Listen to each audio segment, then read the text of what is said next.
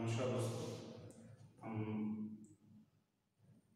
Applied mathematics पढ़ रहे हैं। पिछले लेक्चर में हमने माध्य निकालना सीखा था, मीन।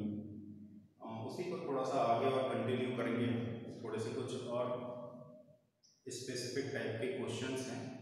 ठीक है? उनको और करेंगे। अभी हमने तीन विधियों से माध्य माध्यम सॉरी प्रत्यक्ष विधि पग विचलन विधि और कल्पित माध्य विधि। ठीक है? Direct method assumed mean method and step elimination method इन तीनों ही मेथड से माध्य निकालना मीन निकालना सीखा है। ठीक है? कुछ और इसके क्वेश्चंस हैं, कुछ और एप्लीकेशन है। कहीं ये अलग अलग टाइप के कुछ और क्वेश्चन हैं, जिसको हम सॉल्व करेंगे। ठीक है? तो कुछ एग्जांपल्स मैं करने जा रहा हूँ आपके सामने सॉल्व तो ये क्वेश्चन है the mean of 25 observation was found to be 40 यानी कि 25 आंकड़े थे हमारे पास, जिसका माध्य 40 आया ठीक है? Later on it was found that an observation 49 was wrongly taken as 94 बाद में हमने पहले माध्य निकाल दिया 25 आंकड़ों का कितना है? 40 लेकिन बाद में जब चेक किया गया तो ये देखा कि जो 49 था हमारे डाटा में, उसको हमने क्या लिख दिया है? 94 ठीक है? यानी कि 49 की जगह पर 94 गलती से लिखा गया। है? तो हमें क्या निकालना है? आंकड़ों का सही माध्य ज्ञात करना है? करेक्ट मीन फाइंड करना है। ठीक है? करेक्ट मीन क्या होगा? यानी कि हमें क्या करना है? जब हमने पहले ऑब्जर्वेशन में, ठीक है 25 ऑब्जर्वेशन है, जिनका मीन 40 निकल कर आया है। उसमें एक ऑब्जर्वेशन था 49 हमने 49 की जगह लिख दिया है 94 ठीक है? तो जो मीन निकल कर आया वो था 40 40 ठीक? अब हमें क्या करना है? यानी कि जो 40 मीन निकल कर आ रहा है, वो क्या है? रॉन्ग है। करेक्ट मीन निकालना है, सही माध्य ज्ञात करना है। यानी कि इस आंकड़े में जो 25 ऑब्जर्वेशन है, इसमें हमें जो एक ऑब्जर्वेशन हमने रॉन्ग लिया है 94 ठीक है, उसको रिप्लेस करना है, यानी कि 94 को हटाना है, उसके कितना हमें रखना है 49 और उस 49 को रखकर फिर हमें सही माध्य ज्ञात करना है। ठीक है तो कैसे सॉल्व करेंगे इसको? सबसे पहले तो जो 25 ऑब्जर्वेशन है उनका सम हम निकाल सकते हैं, या माध्य किसके बराबर होता है? आंकड़ों का योग। ठीक है? Sum of observation upon total number of observation आंकड़ों की कुल संख्या। जो मीन है होता है sum of observation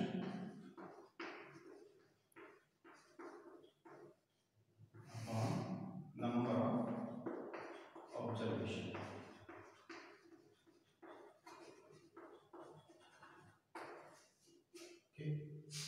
यानी कि हिंदी में कहें तो आंकड़ों का योग बटा आंकड़ों की कुल संख्या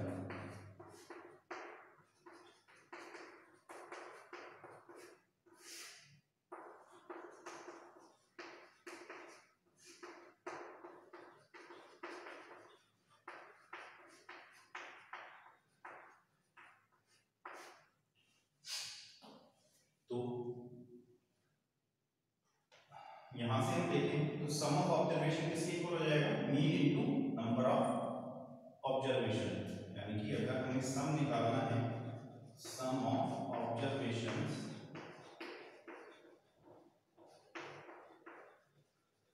तो इक्वल हो जाएगा मीन माध्य गुणा नंबर ऑफ़ ऑब्जर्वेशन माध्य गुणा आंकड़ों की कुल संख्या नंबर ऑफ़ ऑब्जर्वेशन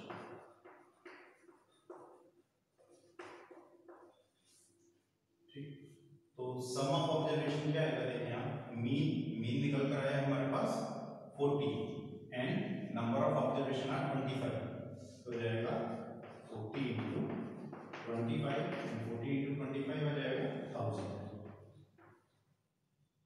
ठीक है? यानी कि जो भी हमारे पास डाटा था, ये 25 ऑब्जर्वेशन जो थे, उन सभी का सम योगफल कितना आ रहा है? एक हज़ार. अब ये जो योगफल आ रहा है वन थाउज़ेंड उसमें हमें करना क्या है? एक डाटा को, एक आंकड़े को रिप्लेस करना है इसको 94 को, क्योंकि इसमें जो एक रॉन्ग जो आ रहा है रॉन्ग मीन के कहो कि गलत माध्य जो निकल कर आया है फोर्टी आया है वो किस वजह से आया? क्योंकि उसमें हमने एक डाटा क्या लिया है नाइन्टी फोर और जबकि हमें लेना क्या? है फोर्टी नाइन तो अब इस जो सम निकल कर आया है इसमें हम क्या करेंगे? इस नाइन्टी फोर को सब्ट्रैक्ट कर देंगे और ये फोर्टी नाइन ऐड कर देंगे। यानी कि जो correct sum correct sum of observation जो आना चाहिए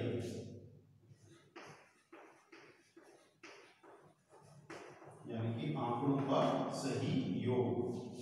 वो आ जाएगा आपका, जो थाउज़ेंड है, ठीक है, उसमें से हमें क्या करना एक ऑब्जर्वेशन जो 94 आया था, ये हमने गलती से लिखा था, इसको हमने हटा दिया और इसकी जगह लिखना कितना था? 49 नाइन, इसकी जगह हमने 49 लिख दी ठीक इसमें से आप सब्ट्रैक्ट करेंगे thousand minus ninety four plus forty nine तो यह जो आएगा आपका हो जाएगा nine hundred fifty five solve करके आप कर सकते हैं। तो करेक्ट मीन ठीक है आंकड़ों का सही मान ऑफ़ ऑब्जर्वेशन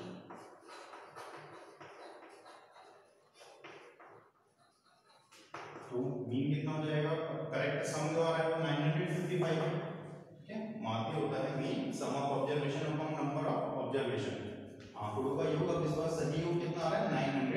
955 और नंबर ऑफ़ ऑब्जर्वेशन वही है आपके, कितने? 25 तो यह आ जाएगा 955 अपॉन 25 ठीक है? 25 से आप इसको डिवाइड कर लेंगे। तो ये वैल्यू आपकी आ जाएगी? 38.2 ठीक? तो आपको ये क्वेश्चन समझ में आ गया होगा। पहले आपको क्वेश्चन को सही से समझना है कि हमारे पास 25 जो ऑब्जर्वेशन आंकड़े दिए थे, उनका मान जब हमने पहले निकाला फोर्टी था, लेकिन हमने ये चेक चेक करने पर ये पता चला कि हमने ऑब्जर्वेशन जो था, यानी कि एक आंकड़ा 49 की जगह 94 ले लिया हमने गलत ले लिया तो हमें इसका करेक्ट मीन निकालना है, सही मान तो हमने क्या करा है? सबसे पहले तो सभी आंकड़ों का योग निकाला है। कैसे? आंकड़ों का योग हो जाएगा आंकड़ों की कुल संख्या गुणा मान मीन ठीक है? उसको हमने सॉल्व करा तो आ रहा है थाउज़ेंड अब तो करेक्ट सम कितना आना चाहिए अब? यानी कि हमने क्या करेक्ट सम के लिए क्या करेंगे? जो सही योगफल है उसके लिए इस 94 को डाटा से हटाएँगे और उसकी जगह कितना लिख रहेंगे 49 तो 94 को हमने रिप्लेस कर दिया। 49 से 94 इसमें से हटा दिया और 49 जोड़ दिया। तो जो करेक्ट सम आया, सही योग हुआ है 955 अब तो करेक्ट मीन कितना हो जाएगा अब सही योगफल जो आ रहा है वो 955 है। और आंकड़ों की कुल संख्या कितनी है? 25 वही डिवाइड कर देंगे तो आंसर आ जाएगा आपका 38.2 ठीक है? अब नेक्स्ट नेक्स्ट क्वेश्चन है आपका। Mean marks of a group of 50 student but 40 and that of another group of 60 student is 35 यानी कि हमारे पास स्टूडेंट के दो ग्रुप हैं।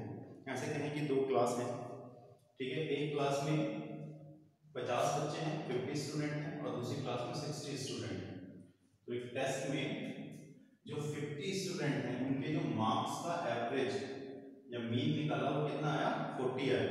और सेकंड क्लास में या सेकंड ग्रुप में जो 60 स्टूडेंट हैं, उनके जो मार्क्स हैं, उनका मीन आया 35 अब आपको क्या करना है दोनों क्लासों को अगर हम कंबाइन कर दें, एक साथ मर्ज कर दें, ठीक है? तो जो कंबाइन यानी कि टोटल कितने स्टूडेंट हो जाएँगे? 60 प्लस 50 110 जो 110 स्टूडेंट एक साथ हुए उन सभी के मार्क्स का हमें क्या निकालना है? एवरेज औसत या मीन ठीक है?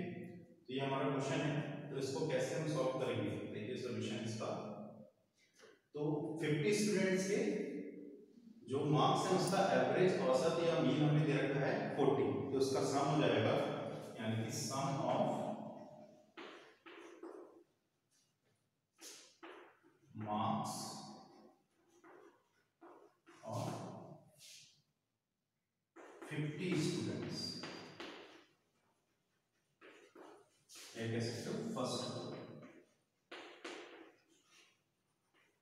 जो पहला ग्रुप है जिसमें 50 स्टूडेंट हैं उसके मार्क्स का सम कितना आएगा? अब आपको पिछले क्वेश्चन में हमने कहा था सम जो योगफल है, ठीक है, वो किसके इक्वल होता है? Mean into number of observation माध्य गुणा आंकड़ों की संख्या। तो माध्य निकल कर आ रहा है? फिफ्टी स्टूडेंट का फोर्टी यानी फोर्टी इंटू फिफ्टी क्या जाएगा? टू थाउज़ेंड ठीक है? यानी कि जो पचास बच्चे हैं, पहले वाले ग्रुप में उन बच्चों के सभी के जितने भी मार्क्स आए, उसका सम उसका योगफल आ रहा है टू थाउज़ेंड ऐसे ही sum of marks of sixty students and क्या बोल सकते हो? सेकेंड ग्रुप सेकेंड ग्रुप में सिक्सटी स्टूडेंट हैं, ठीक है? उनके मार्क्स का सम क्या आएगा उनके अंकों का योगफल क्या आएगा total mean into number of observation mean आ रहा है thirty five number of observation are sixty तो हो जाएगा ट्वेंटी वन हंड्रेड ओके तो जो सिक्सटी स्टूडेंट हैं, साठ बच्चे हैं, उनके अंकों का कुल योग, यानी कि सिक्सटी बच्चों को जितने भी मार्क्स मिला अलग अलग उन सभी का योगफल आ रहा है ट्वेंटी वन हंड्रेड और जो फिफ्टी स्टूडेंट थे, पहले वाले ग्रुप में, उनका योगफल आ रहा है, उनका सम आ रहा है टू थाउज़ेंड अब हमें क्या करना है दोनों को कंबाइन करना है, यानी कि सिक्सटी प्लस फिफ्टी तो इनका सम भी क्या हो जाएगा? कंबाइन हो जाएगा, जुड़ जाएगा. तो sum of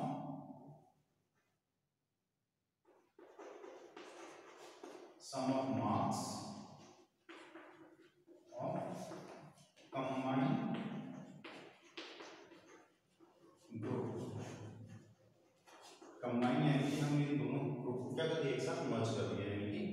जो हम बात कर रहे हैं जो सम आएगा कितने स्टूडेंट का आएगा? 50 प्लस 60 110 स्टूडेंट लिख भी सकते हैं 110 स्टूडेंट तो आ जाएगा, पहले 50 का है 2000 नेक्स्ट 60 का है 2100 ये टोटल आ जाएगा 4100 यानी कि 110 स्टूडेंट जो है कंबाइन करके, उन सभी के मार्क्स का, सम, उन सभी के अंकों का योगफल ये आ रहा है उसका क्या निकालना है आपको? मीन तो mean of mean marks of combined students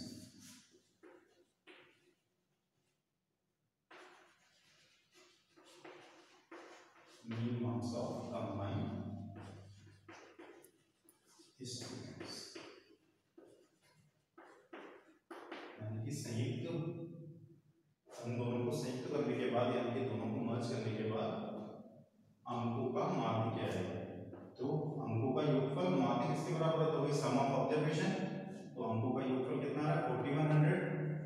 करने के बाद, और मर्ज करने के बाद टोटल ऑब्जर्वेशन कितने हो गया टोटल जो स्टूडेंट हो गए, वो गए वन हंड्रेड टेन ठीक है? इसको आपको डिवाइड करना है, और आपका आंसर आएगा इसको डिवाइड करके थर्टी सेवन पॉइंट टू ये आपका आंसर आ जाएगा। ठीक है? यानी कि हमें क्या दिया था? पहले कुछ स्टूडेंट का फिफ्टी स्टूडेंट का मार्क्स का एवरेज औसत या मीन दे रखा है फोर्टी और नेक्स्ट सिक्सटी स्टूडेंट का, ठीक है, वो दे रखा है थर्टी फाइव हमें इन दोनों को मर्ज करना था, उसका मीन निकालना था मान क्या आएगा औसत यानी कि total one hundred ten student का। तो आपने क्या करा है? पहले पचास बच्चों के अंकों का योगफल निकाला है सम फाइंड किया आपने, फिर जो अगले वाले सिक्सटी हैं, उनका योगफल निकाला हमने, फिर अब टोटल को कंबाइन करेंगे, उनका, अब टोटल को कंबाइन करने के बाद स्टूडेंट हमारे पास वन हंड्रेड टेन हो गए तो अंकों का योगफल क्या हो जाएगा? Two hundred plus twenty one hundred that is forty one hundred तो माध्य होता है अंकों का योग sum of observation upon number of observation इससे आप डिवाइड कर देंगे 110 से 4100 को तो आपका मीन निकल कर आ जाएगा। ठीक है? आपका नेक्स्ट क्वेश्चन है ये। The mean of 10 observations is 20 यानी कि 10 आंकड़ों का माध्य हमें 20 दे रखा है 20 और कह रहा है इफ़ 9 ऑब्जर्वेशन आर नौ आंकड़े हमें दे रखे हैं, क्या है? 16 20 18 17 22 16 15 20 एंड 17 ये हमें नाइन ऑब्जर्वेशन दे रखे हैं, नौ आंकड़े दिए हैं। तो हमसे पूछ रहा है कि दसवां आंकड़ा क्या करें फाइंड द टेंथ ऑब्जर्वेशन दसवां आंकड़ा क्या होगा? ठीक है? तो इसका सॉल्यूशन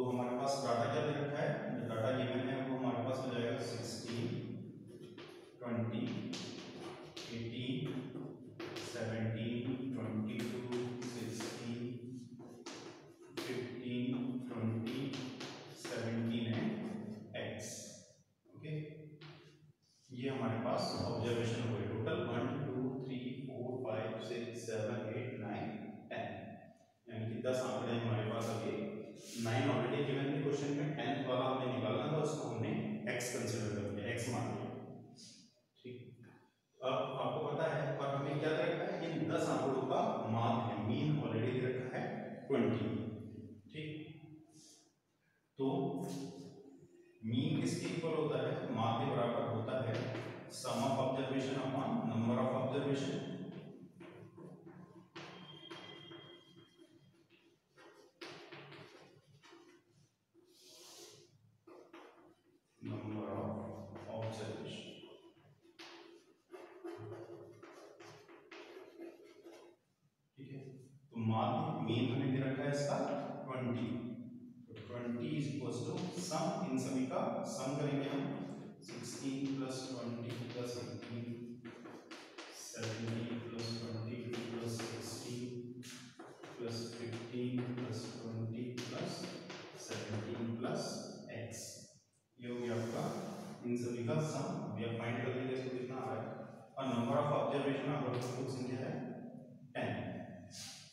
से मल्टीप्लाई हो? जाएगा twenty into ten two hundred आप इन सभी को ऐड करें तो आ जाएगा one hundred sixty one plus x जो आपका बचेगा मैं वन सिक्सटी वन को इधर लेकर आ हूँ तो ये माइनस हो जाएगा, ये हो जाएगा two hundred minus one sixty one is equals to x ये बच जाएगा thirty nine is equals to x यानी कि एक्स जो आ गया क्या गया?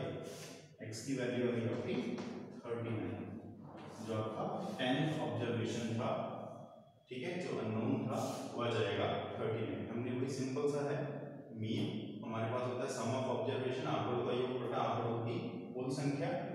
इन सभी का हमने क्या करा है? सम किया है। ये एक्स अलग है तो ये ये सब नंबर्स हैं, वो ऐड हो जाएँगे, और ये एक्स एज इट इज़ आ जाएगा प्लस के साथ और यहाँ से फिर एक्स की वैल्यू निकल कर आपकी आ जाएगी भाई थर्टी ठीक तो हम ये मीन वाला टॉपिक यहीं पे अब खत्म करते हैं। ये आपका बेसिक्स का कुछ पार्ट है जो आपने अपना नाइन्थ टेंथ क्लास में पढ़ा था, ठीक है? नेक्स्ट लेक्चर में हम आगे शुरू करेंगे, ठीक है? मीडिया में मॉड के बारे में हम थोड़ा सा आगे पढ़ेंगे, जो अपना बेसिक पार्ट